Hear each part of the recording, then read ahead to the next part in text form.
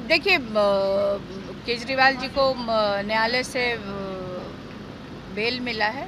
तो क्योंकि सब मामला न्यायालय में है तो बहुत ज़्यादा तो इस पर टीका टिप्पणी नहीं करना चाहिए।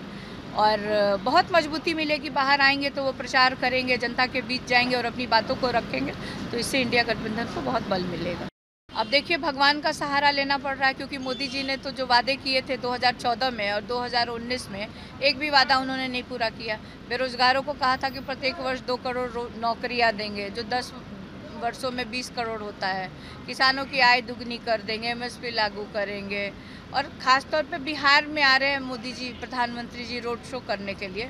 तो सबसे ज़्यादा अगर किसी को ठगने का काम किया है प्रधानमंत्री जी ने तो बिहार राज्य को ठगने का काम किया है। बिहार राज्य को स्पेशल पैकेज मिलना था, विशेष राज्य का दर्जा मिलना था। बिहार में फैक्ट्रियाँ लगनी थी, बिहार की बंद पड़ी चीनी मिलें खुलनी थी। तो मोदी जी अब भगवान के शरण में चले गए हैं, जनता से काफ़ी दूर हो गए हैं। और हम लोगों के लिए जनता भगवान है, जनता मालिक है। हम लोग उनके बीच हैं और उनके मुद्दों को लेकर के हम लोग जनता के बीच हमेशा रहते हैं, उनके सुख में, दुख में खड़े रहते हैं।